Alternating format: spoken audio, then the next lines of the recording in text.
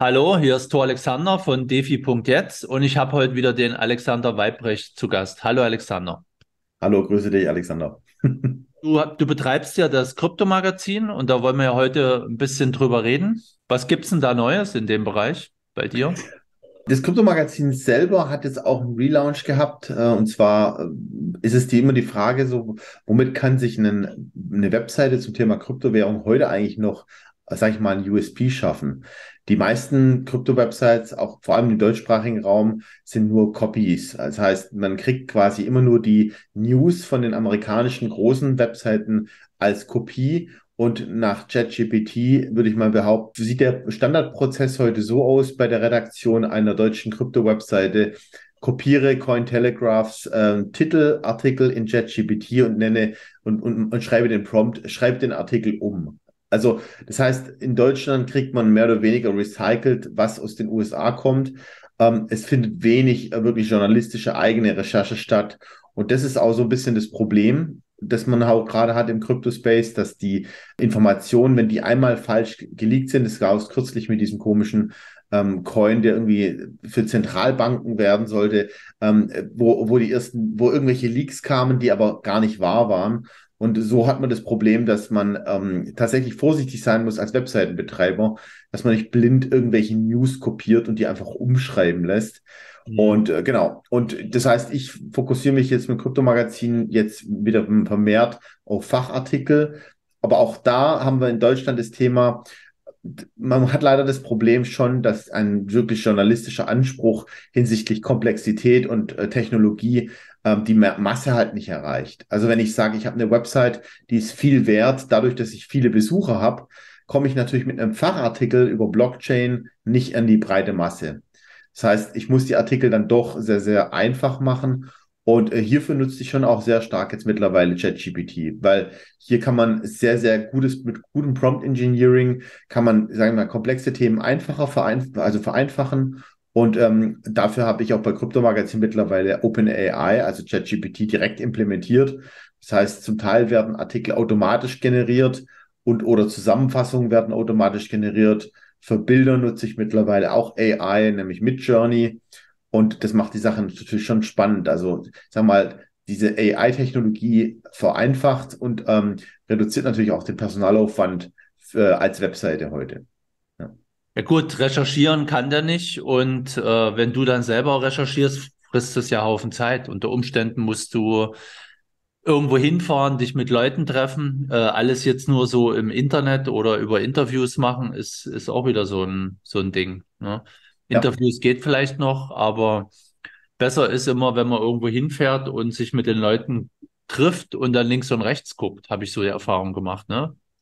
Richtig. Auf der einen Seite, auf der anderen Seite ist es so, von der rein qualitativen Perspektive, was ist das erfolgreichste Nachrichtenformat in Deutschland? Es ist die Bildzeitung tatsächlich. Also das heißt vom Webformat her, wenn man sagt, man möchte eine Webseite mit viel Reichweite haben und man sagt, die Quantität ist zumindest genauso wichtig wie die Qualität, dann hat man das Problem natürlich, dass man eben ähm, sehr, sehr oberflächlich bleiben muss. Und ähm, deshalb, wie gesagt, super schwierig. Ähm, und zwar aus dem Thema der Finanzierung raus. Da kann ich ein bisschen Insights geben. Ich habe so ein bisschen Infos zu anderen Krypto-Websites und anderen größeren Projekten mhm. im Kryptobereich, die im Bereich redaktionelle Inhalte äh, Geld verdienen durch Vermarktung und so.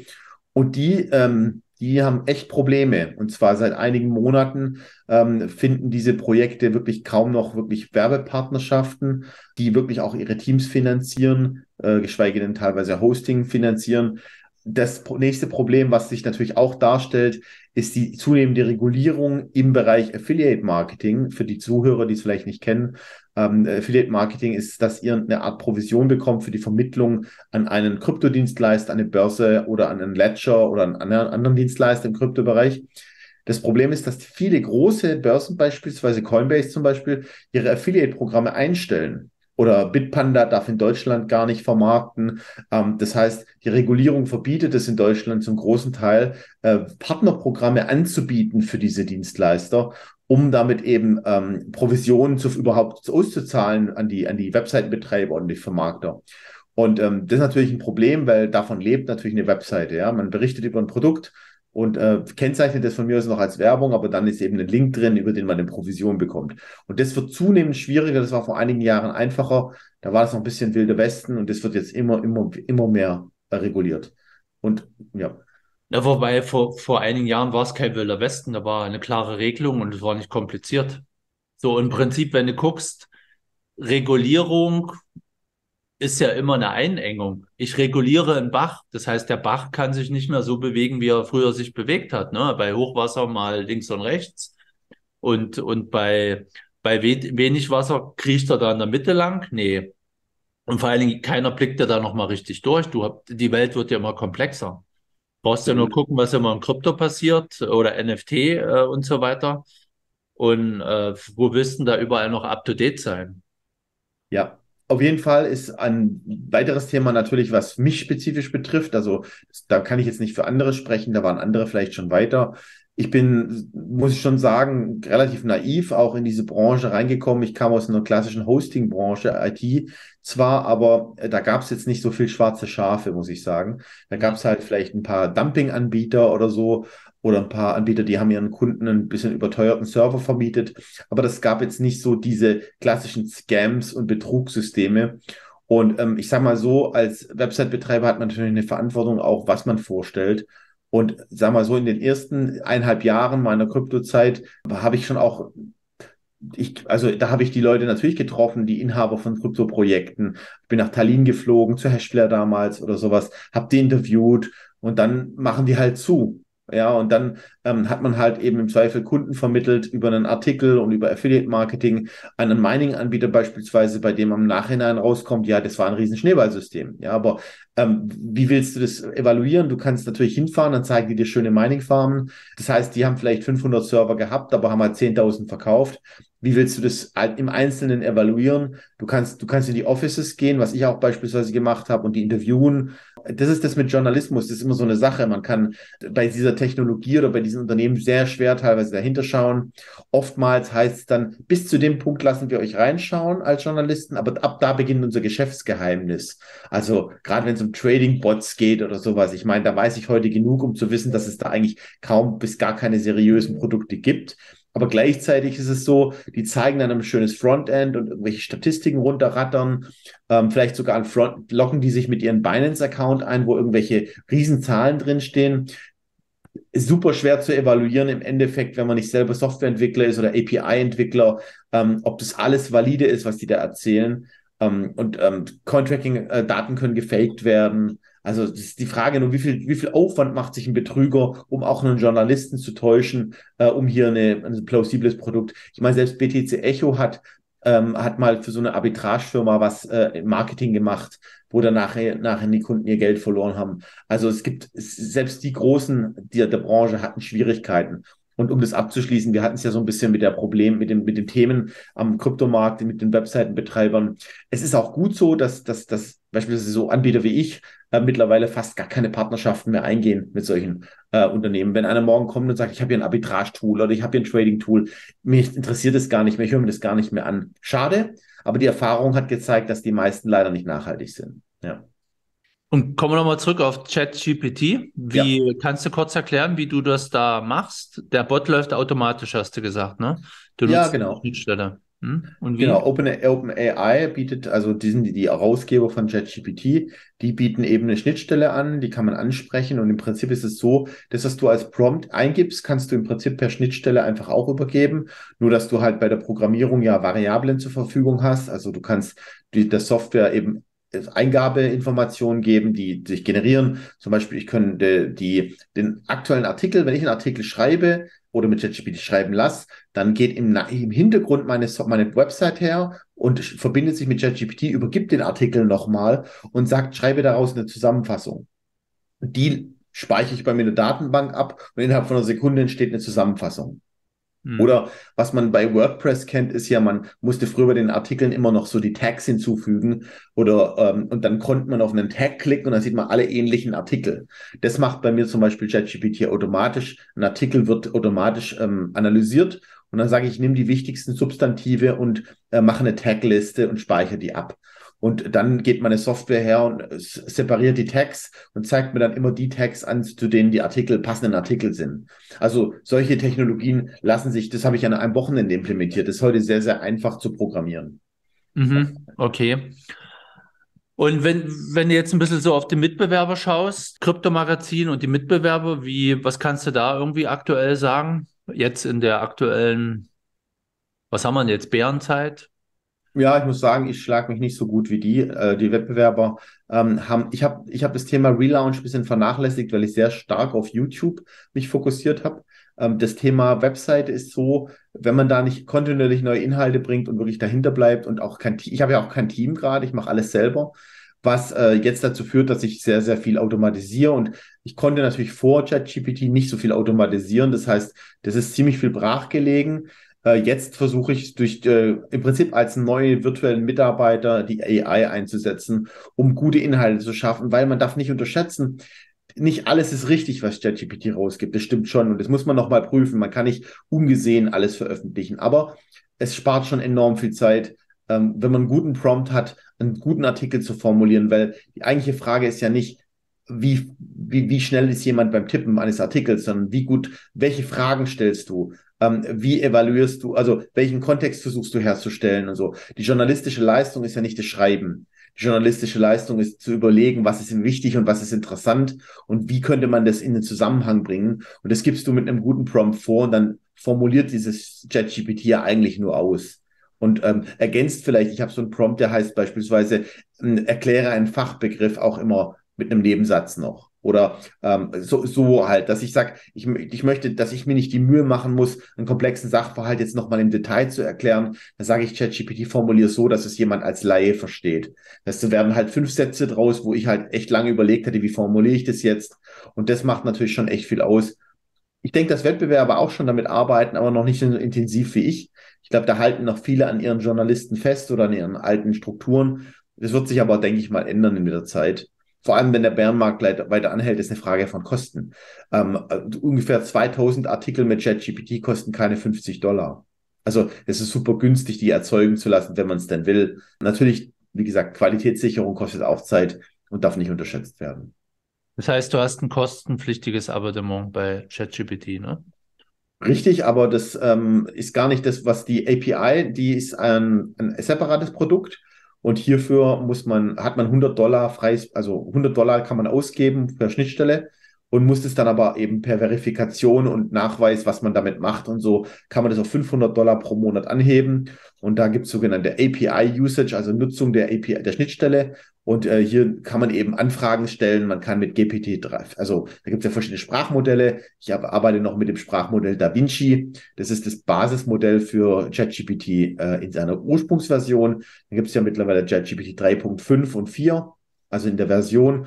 Und das kann man per Schnittstelle eben auch ansprechen. Und ja, das ist ein bisschen komplexer, aber da kann man sehr viel coole Sachen machen. Zum Beispiel, man kann auch Feintunen machen. Das bedeutet, man kann sich ein eigenes Modell anlernen. Das heißt, ich könnte beispielsweise alles, was ich in meiner Website bisher habe, dem Sprachmodell übergeben und dann schreibt der quasi immer in meinem Stil. Ja, das könnte man machen. Äh, das heißt, man, man äh, erzeugt eine Textdatei mit den ganzen Artikeln, lädt die bei OpenAI hoch und sagt dann, lerne ein neues Modell, das heißt Kryptomagazin auf Basis dieser Texte. Und dann brauche ich nur noch sagen, in Zukunft schreibe einen Artikel mit dem Modell Kryptomagazin zum mhm. Thema, was ist Blockchain? Und dann würde er quasi so in dem Stil, wie meine ganzen Artikel sind, würde er dann Artikel schreiben. Mhm, okay. Vielleicht noch zum Schluss, letzte Frage. Was schätzt du, wie jetzt der Kryptomarkt sich in den nächsten Wochen weiterentwickeln wird? Ich denke, wir werden bis zum Halving und darüber hinaus voraussichtlich äh, bis Mitte nächstes Jahr auf einer, auf einer Tal, wie nennt sich die Berg- und Talfahrt äh, sein zwischen 20.000 und äh, 30.000. Ich denke, wir werden eine Konsolidierung haben in diesem Bereich. Das ist nicht wenig. Ich glaube nicht, dass wir dieses Jahr das riesige Breakout sehen. Wir gibt es zu viel Unsicherheit und das, die Regulierung, die jetzt weltweit gerade stattfindet, die wird jetzt erstmal Hemmnisse bringen, die aber später wiederum für große Investoren spannend sein werden. Weil letztendlich ist es so, das große Geld wartet immer auf Regulierung weil die wollen natürlich Sicherheit. Auf der anderen Seite wird es aber auch viel großes Geld wieder abziehen lassen, wenn man mal sieht, was gerade gerade super spannend ist für viele sind Staatsanleihen wieder, warum auch immer. Ähm, Staatsanleihen sind halt gerade wieder en vogue. Sich, hohe Zinsen mit sicherem Fiat, aber da muss nur Krieg in Taiwan ausbrechen, dann sieht die Sache morgen schon wieder ganz anders aus. Ähm, das heißt, wir leben in sehr unsicheren Zeiten und daher glaube ich halt, der Kryptomarkt bleibt volatil, bleibt äh, erstmal sehr schwankend, ähm, aber es ist, es ist trotzdem alternativlos. Ich bin sehr froh, dass es Bitcoin gibt, weil wenn man mal überlegt, wir hätten das nicht, dann wären wir in diesem System tatsächlich äh, versklavt. Wir hätten keine Chance, irgendwie auch nur ein bisschen Sicherheit zu schaffen, weil selbst ETFs und Aktien heißt immer diesen Jahr Sondervermögen. Aber was mache ich mit einer Apple-Aktie, wenn die New York Stock Exchange nicht öffnet? Mache ich gar nichts damit. Ja. Und das ist genau das Problem. Deshalb Bitcoin ist und bleibt die einzige Sicherheit, die, die, die man wirklich noch hat heute. Ich bin sehr dankbar, dass das gibt, gerade in Zeiten, in denen eben, du weißt ja, oder wir wissen es alle, in denen gerade sehr viel ähm, neue Herausforderungen auf die Menschheit wieder zukommt. Alte Herausforderungen, die wir eigentlich gedacht hatten, hinter uns zu lassen, werden jetzt tatsächlich wieder erneut auf die Tagesordnung gerufen. Ja. Warum die Staatsanleihen jetzt so nachgefragt sind, kann ich dir relativ einfach erklären. Sehr gerne. Der Punkt ist, eine Staatsanleihe ist ein wesentlich sicheres Geld als das Geld eines Staates. Weil der Staat verschuldet sich ja bei irgendjemand anders. Und wenn der Staat sagt, okay, dieses Geld ist nicht mehr unser Geld, also jetzt beispielsweise, wenn jetzt die, die, die Fed daherkommt, oder nicht die Fed, die amerikanische Staat kommt daher und sagt, der US-Dollar ist nicht mehr unser Geld, wir haben jetzt eine neue Währung, die heißt US-Mark, dann ist das ganze alte Geld ungültig. Sicherlich wird man da einen Umtauschkurs irgendwie finden oder einen Teil nur, siehe DDR. So, aber wenn du eine Schuld hast, dann kann der Schuldner nicht sagen, du, meine Schuld ist ungültig. Nein, du bist bei mir verschuldet und ich bestimme die Gebühren und, und ich bestimme, was damit passiert, wenn da eine Änderung passieren soll. Das heißt, wenn der beispielsweise amerikanische Staat die Währung wechselt von US-Dollar zu US-Mark, dann muss, muss er die Schulden in der neuen Währung wieder zurückzahlen. Das heißt, ich habe mein Geld nicht verloren. Wenn ich aber US-Dollar habe und ich kann die nicht tauschen, weil vielleicht eine Bedingung ist, ich muss in die USA fliegen, um die zu tauschen. Und dann gibt es wieder andere Bedingungen. Ich darf nur so und so viel mitnehmen und dann muss ich nachweisen, wo das Geld herkommt und was nicht alles. So, und deswegen hat eine Staatsanleihe wesentlich mehr Welt, mehr Wert als das eigentliche Geld des Staates. Mhm. Und ich habe mir das auch lange gefragt, warum haben die Chinesen so viele US-Staatsanleihen? Warum? Mhm. Warum tun die nicht einfach die US-Dollar in Papiergeld bunkern und dann fahren sie mit einem Sack irgendwo hin? Hier haben wir jetzt einen Sack US-Dollar, gebt uns mal hier ein Schiff Öl zum Beispiel. Mhm. Ganz einfach, weil der US-Dollar von heute auf morgen für ungültig erklärt werden kann. Mhm. Und das ist ein, ein, mhm. ein, Ding, was man nicht unterschätzen darf. Es gab ja auch die Bundesschatzbriefe, die für negativen Zins äh, ausgegeben wurden. Da habe ich gefragt, wer ist denn so bescheuert und kauft sich für 10.000 Euro beispielsweise oder für 100.000 Euro Schatzbriefe und freut sich, wenn er 90.000 wieder zurückkriegt. Wie bescheuert ist denn das? Mhm. Also muss das andere Geld eine ganz andere Sicherheit haben als das. Mhm. So, und das ist der Grund. Dazu und, vielleicht noch eine kleine Ergänzung, ja? die auch vielleicht interessant ist. Wer vielleicht äh, das nicht weiß, ähm, hinter äh, Bitfinex und äh, steckt iFinex. Und iFinex ist die, sind die Herausgeber von USDT, also US Tether. Und der Grund, warum die zurzeit mit die größten Bitcoin-Käufer sind seit Monaten und auch die riesige Bitcoin-Bestände gerade aufbauen im Bärenmarkt, ist, weil die die größten Sicherheiten ihrer USDT haben die in US-Staatsanleihen, kurzgebundene US-Staatsanleihen. Und die Zinsen, die die daraus generieren, damit kaufen die gerade Bitcoin. Also das ist super interessant, wenn man mal überlegt, was für ein Geschäftsmodell diese Stablecoins sind, dass man im Prinzip seine US-Dollar gegen Stablecoins tauscht und die kaufen davon Staatsanleihen und kriegen Zinsen dafür und kaufen dann davon Bitcoin. Und, ähm, und dafür hat man dann quasi auf einer Blockchain einen US-Dollar-äquivalenten Token. Also super genial eigentlich, weil es, es erfordert ja sowieso keine eigene Infrastruktur. Diese Tethers laufen auf einer Ethereum-Blockchain oder auf, einem, auf einer Binance-Chain oder sowas oder auf einer Tron-Chain. Das heißt, andere Blockchains haben quasi diesen, diesen Token, ja. Du bist managed nur den Smart Contract, indem du neue erzeugst und auf dem Hintergrund nimmst du die Kohle und legst einfach an zu hohen, horrenden Zinsen. Äh, ist super schlau. Ich meine, es gibt ja da nur einen ähm, äh, Counterparter als Exchange. Das heißt, man müsste ja zu iFinex gehen und sagen, gib mir US-Dollar für den Scheiß, den du da generiert hast. Das passiert ja nicht weil die Leute ja nur innerhalb des Systems weiter ihr Zeug exchangen. Das ist super interessant, das zu verstehen und warum auch man sagt ja auch nicht umsonst, dass der Bullrun 2017 von iFinex durch das Drucken von USDT äh, mitverantwortlich war. Ähm, und in diesem Bullrun glaubt man ja, dass BUSD, also der Binance US Dollar, ähm, dass der Abverkauf davon sozusagen den Bullrun ausgelöst hat. Also den Mini-Bullrun, den wir jetzt hatten. Ähm, das heißt, bislang kann man wenn man es hart ist, wenn man immer von aus Bitcoin mit Maximalist zieht, oh, Bitcoin hat so performt. Im Wesentlichen haben die letzten zwei Bullruns wurden im Prinzip, wenn das stimmt, so durch Marktmanipulation von Stablecoin-Anbietern ausgelöst. Ja. Und das muss man natürlich auch im Hinterkopf bewahren, wenn man denkt, so wie viel könnte Bitcoin noch wert sein. Ja, der Preis, den wir jetzt haben, ist erstmal ein rein manipulierter Markt, wenn das so stimmt. Und äh, das spricht viel dafür, dass es so ist. Das heißt, vielleicht könnte ein Realpreis bei Bitcoin so knapp über den Mining-Kosten liegen. Ja? Äh, und, äh, und deshalb sage ich, den Preis von Bitcoin muss man viel mehr danach orientieren, nicht was ist da gerade an der Börse gehandelt, sondern das, wo liegen die Kosten beim Mining und wo ist der Grenznutzen für die Miner. Da könnte man sagen, da entsteht der eigentliche Wert beim Bitcoin. Stromkosten, Energiepreis und so weiter. Und da beginnt eigentlich der Realwert von Bitcoin und gar nicht so sehr bei den ganzen spekulativen Preisen auf den Börsen. Ja, weil die Miner profitieren natürlich, wenn sie Bitcoin meinen und für einen dreifachen Preis verkaufen können, wie ihre Selbstkosten. Das ist zwar schön für die, aber das hat nichts mit Realwert zu tun. Man könnte es mit dem KGV-Wert äh, einer Aktie vergleichen. Ja, das nur als Ergänzung noch. Ja. ja, gut, wobei Bitcoin natürlich noch einen weiteren Wert hat, der eigentlich nicht bezahlbar ist. Es ist ein sicheres Geld, was keiner für ungültig erklären kann. Ähnlich Gold und Silber. Genau, die, die, durch die Dezentralität, absolut, ja. Ja, genau. Und das, das Geschäftsmodell hinter den Stablecoins, das habe ich ja auch in meinem Buch. Ich habe gerade mal eins hier liegen. Dezentrales Geld habe ich das ja auch quasi beschrieben gehabt. Allerdings habe ich, bin ich jetzt nicht drauf eingegangen, wie man, was man mit den Zinsen macht.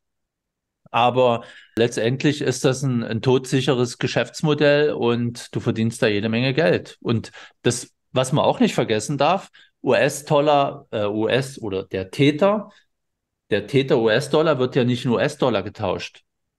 Der wird in, in Anrecht auf US-Dollar getauscht. Das heißt, du kriegst chirale US-Dollar dafür, noch nicht mal echte. Mhm. Kannst du nicht zu denen hingehen und sagen, hier, ich habe jetzt hier 100 Tether oder sagen wir mal 100.000 Tether, gib mir jetzt mal 100.000 Dollar. Nee, du kriegst mhm. die ja chiral dann wieder auf dein Konto. Mhm, genau. So, also hast du ein, eine Wertmarke von einer Wertmarke von einem, von einem Geld, was nur auf Glauben basiert. Und das ja. Blockchain basiert. Willkommen in der Matrix, oder? Ja. ja, wobei Bitcoin natürlich auch auf Glauben funktioniert, aber da hast du natürlich auch eine entsprechende Sicherheit dahinter und, und noch ein paar andere Kriterien. Kann man aber auch wieder ewig drüber diskutieren. Das Fass machen wir aber heute jetzt nicht auf.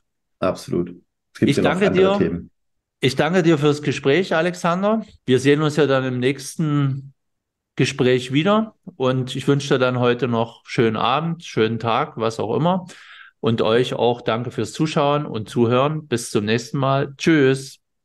Tschüss.